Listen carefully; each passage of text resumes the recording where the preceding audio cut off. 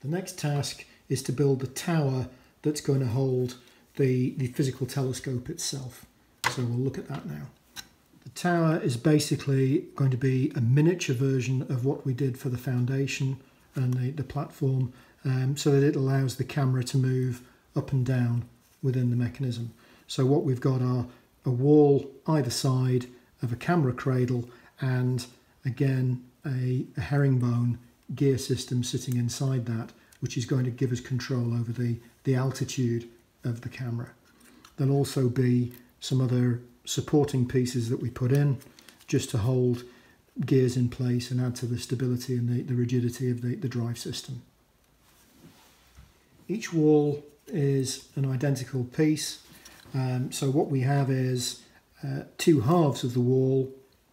Trapped inside the wall are three RC bearings and then an assembly which can pivot on those bearings that we attach the cradle to. So these walls then mirror each side to create the structure for the telescope. So each wall consists of two of these part Ps and one of these part Rs. You can see it has a small herringbone gears sitting inside it and also three of these RC bearings. These are going to be with the M5 bore on them. And the basic idea is this is going to sit within that hole there and these bearings fit into the groove I'll just show you it on the inside of this so the bearings will sit there there's three to keep it balanced and it's well worth making sure in this assembly that this ring here, this groove, has been quite well sanded. Make sure there's no burrs or anything which could make it um, move roughly. So you want this ultimately to, to move extremely smoothly as it's doing the vertical adjustment of the telescope. And these bearings should fit quite smoothly and quite nicely within that. So what we're going to do is basically one bearing there, one bearing there, and one bearing there. And if I get it right, just jammed it, there we go. You can see that it will, it will hold itself quite nicely within that gap. And then the second part B sits on top and sandwiches that mechanism in place. Then finally, you take an M5 20mm bolt, push it through the bearing. May just need screwing through onto the plastic on the other side. Same on this. Same on this. And then on this side, just a small nylon, nylon nut just to hold that in place. Before you proceed, just make sure that this is moving nice and smoothly inside. It's not catching there's no ridges or anything like that that's left over. So take your time, take it apart, sand again, and as soon as you feel that that is moving nicely without actually any terrible movement in it, it should be fairly firm in the way that it's it's fitted in. Then you're ready to actually assemble the rest of the of the, the mount.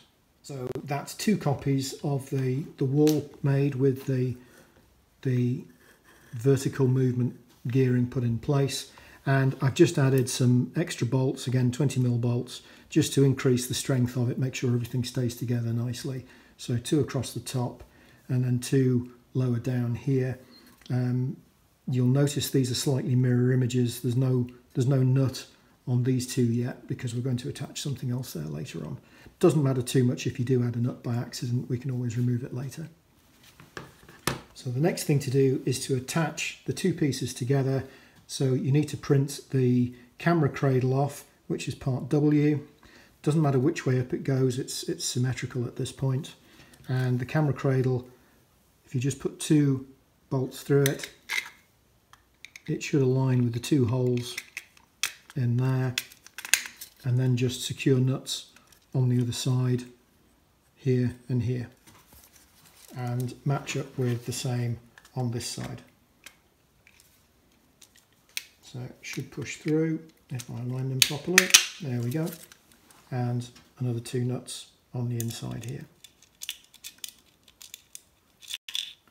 So with both sides attached, so the camera cradle in the middle attached to the two um, gear heads and then those embedded within the walls and all joined together you essentially get the top of the telescope assembly and you can see that it moves and again just check that it, it moves um, it wants to be reasonably tight but but not so tight that the motors are going to struggle to overcome it so the next job is then to attach this onto the platform of the telescope Here's the platform. Um, at this point we can say which is the front and the back of the telescope.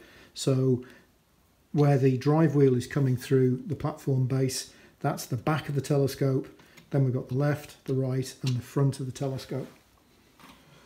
So putting this body on top of this now, it's going to connect, uh, it's going to sit across these two beams which are standing out of these brackets and they fit into the groove that you can see here and here. So they should slot across. Probably be quite tight, but they, they should fit, they should all be the right size. There we go, and it will just slide down and slide home like that. To secure the two walls in place um, against the brackets, this piece uh, labelled Y um, is going to sit um, across the base of the, the two walls and these screws on each side will go through the bracket on the platform and secure the whole thing together so that the, the walls can, can't come off anymore. This piece will fit parallel with this row of holes here and the bolts will go through the hole here and here on each side. The hole in the middle will align with the central hole that the cables can pass through later on in the build. So again, this may be a snug fit. Um, this fits this way around with these holes at the front of the telescope and the slight groove sitting at the back of the telescope where the drive wheel is. So we place it in like that and then secure it with the bolts going through the side holes they will tighten again just with, a, with an Allen key in my case.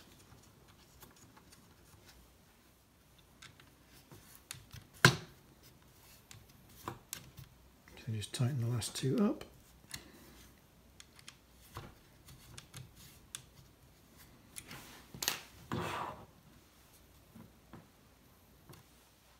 Now with that piece secured in place, this should be quite stable now. This should be quite firm.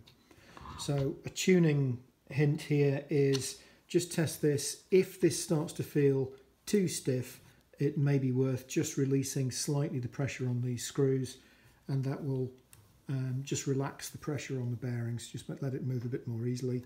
And conversely, if this is too loose, tighten these up and it should increase the, the friction a little and you'll get a, a more steady movement on the, the carrier for the camera. I've just corrected a small mistake I made there. You may remember that um, two of these bolts in the walls didn't have the nuts on them. Those two bolts should be at the back. If you've made the mistake the same as me, just move the nuts from the front to the back, or the back to the front as, as you need to do.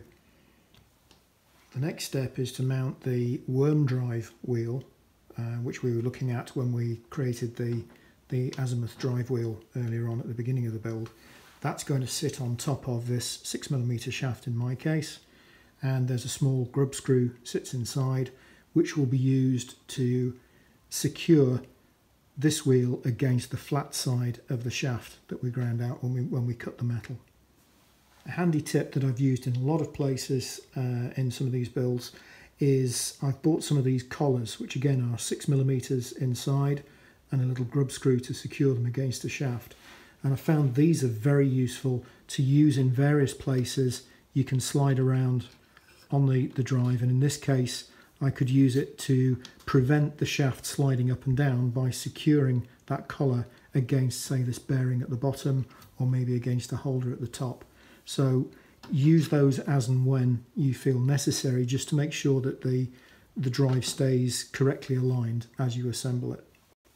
So I'm going to put one of these collars all the way down on the base of the, the drive shaft, just flush against the RC bearing that's sitting in the platform base and just tighten it up gently using the Allen key and that can just stop the wheel moving too much up and down. Then with a similar idea slide the worm drive gear onto the shaft aligning the grub screw against the flat part of the shaft because we're going to tighten that with one of the Allen keys as well. The position isn't too critical at the moment. We're going to fine tune that when we assemble the motor. But this is just to make sure it's in place before we construct the rest of the, the assembly.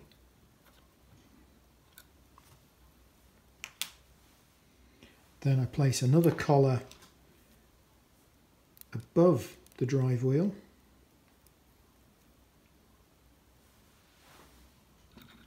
That can just sit un unconnected at the moment.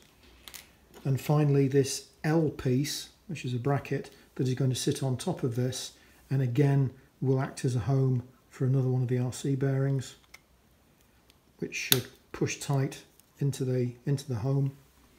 And to start with just relax these two bolts out and use that to roughly locate this on the top of the drive shaft.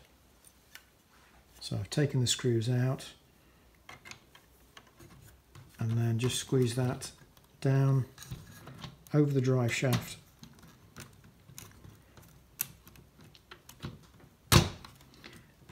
and level with the screw holes so that I can re-close re these bolts.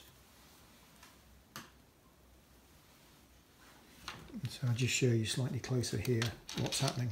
So the drive shaft is coming up, it has the, the worm gear attached to it, it has a, a loose collar sitting on it, a bearing sitting above that, sitting in this bracing arm and I'm aligning the bottom hole of the bracing arm with the bolt here on the side of it.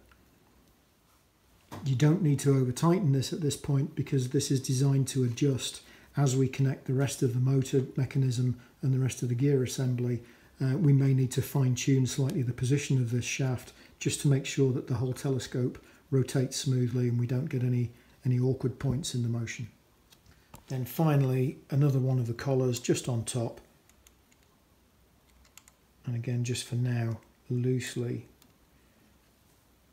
close the grub screw up and that's just to stop the bearing coming off the top through use. So if I hold it up you should be able to see a little bit better roughly what this is starting to look like. So the drive shaft is coming up with the worm drive gear on it and the two collars at the top, at the bottom and then a third one in the middle that I've not kind of committed yet, but um, is going to go up against here, just to, again, just to restrict any movement in all the components when I'm happy with the position of everything. With those just loosely in place, you can test it and you should see that the telescope moves quite smoothly. If it isn't moving smoothly at this point, just start to move backwards through the steps and make sure that everything is aligned to your satisfaction. We don't want any friction at this point because we're going to make it too difficult for the motors and you're going to start to, to get mispositioning of the telescope if it's not moving very well. So that's the basic structure complete and what we've got to do now is build the motors and the rest of the gear assembly to drive the azimuth mo movement which is left right and also to drive the altitude movement lifting up, up and down. So we'll put this to one side and work on that next.